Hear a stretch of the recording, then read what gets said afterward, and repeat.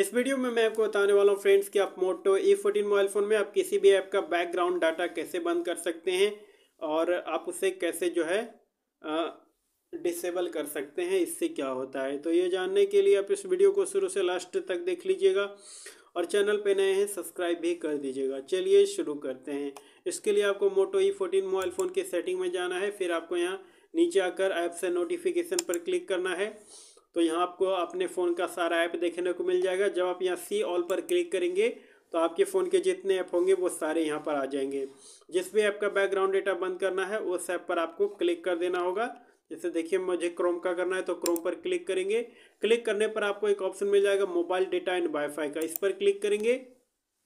इसमें आपको यहाँ बैकग्राउंड डेटा का ऑप्शन मिल जाएगा। तो देखिए, बैकग्राउंड डेटा बंद करने के लिए आप यहाँ पर क्लिक करेंगे, बैकग्राउंड डेटा बंद हो जाएगा। बैकग्राउंड डेटा बंद हो जाने से क्या होता है कि अगर वो ऐप अगर वो ऐप दोस्तों आपके बैकग्राउंड में चलेगा तो वो आपके डेटा को यूज़ नहीं कर पाएगा। साथ ही साथ ही साथ वो आपके अनरिस्ट्रिक्टेड डेटा यूज़ नहीं कर पाएगा मतलब ज़्यादा डेटा को यूज़ नहीं कर पाएगा। इस तरीके से आप बैकग्राउंड डेटा बंद कर सकते हैं किसी भी ऐप का मोटो ई फोर्टी में। वीडियो पसंद आया है लाइक करके चैनल सब्सक्राइब ज़रूर करिएगा।